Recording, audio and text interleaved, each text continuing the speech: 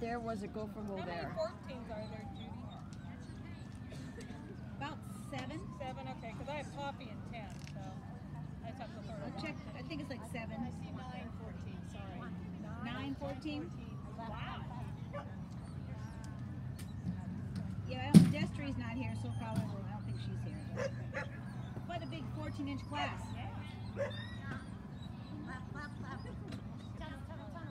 Yeah, there were only a couple yesterday, huh? Well, that was team yesterday, so, Oh, yeah, okay.